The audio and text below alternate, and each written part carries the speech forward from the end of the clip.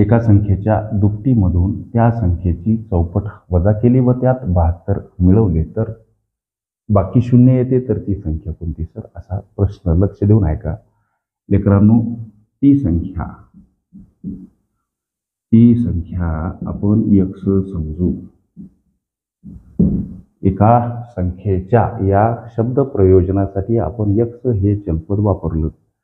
आता या एका संख्येच्या ज्या एका संख्येला आम्ही इथं यक्ष समजलं. दुपटीमधून म्हणजे यक्षाची दुप्पट दोन यक्ष त्याच संख्येची चौपट वजा केली असं गणित म्हणते. म्हणून तीच संख्या तिची चौपट चार एक्स आणि त्याच्यामध्ये बहात्तर मिळवल्याच्या नंतर येणारं उत्तर शून्य. अशा पद्धतीची ही मांडणी जमावी. ओके आता हे दोन एक्स वजा चार एक्स अधिक बहात्तर बराबर शून्य. हे झालं समीकरण तयार. इथं वजा दोन एक्स वजा चार एक्स ही वजाबाकी करायची. ही वजाबाकी वजा दोन एक्स काय येते सर तर इथं हे लहान संख्येतून मोठी संख्या काढायची. म्हणजे काय करायचं?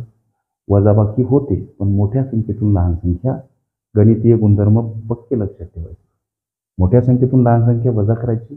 मात्र उत्तरासमोर मोठ्या संख्येच्या समोर असलेलं चिन्ह. आता मी काय करतो बघा हे बराबर चिन्ह इथं लिहितो. शून्यकडे जाताना हे बहात्तर. अधिक असलेले वजा स्वरूपात मांडायचे. का? त्याचं कारण असं हे दोन्ही वजा चिन्ह यावेत आणि ते नष्ट व्हावेत. आता यक्षला एकटं करू वजा बहात्तरकडे जाताना हे वजा दोन यक्ष ह्या पदासोबत गुणीला असलेले भागीला मांडा. हे दोन्ही वजा वजा चिन्ह चालले गेले सर. आणि हा भाग गेला छत्तीस म्हणजे ती संख्या मिळाली. एका संख्येच्या दुपटीमधून बघा आता. तिच्या दुपटीमधून तिचीच चौपट वजा केली आणि त्याच्यामध्ये बहात्तर मिळवले. तर बाकी शून्य येते का? बघा एका संख्येच्या दुपटीमधून म्हणून गुणीला दोन. त्या संख्येचे चौपट त्या संख्येची चौपट म्हणून इथं गुणीला चार. वजा केले. प्रथमतः ही प्रोसेस करा. हे बहात्तर उत्तर आणि हे एकशे चौवेचाळीस.